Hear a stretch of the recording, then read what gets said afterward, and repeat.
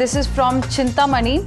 In a tragic accident, eight persons got killed when their jeep that they were traveling in rammed into a cement laden lorry coming from the opposite direction.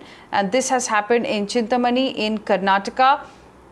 Unfortunately, eight people were killed in this particular tragic mishap. Let's go across to Imran joining us on the broadcast more on this. Imran, uh, were there these eight people only uh, who were involved or uh, some got injured too?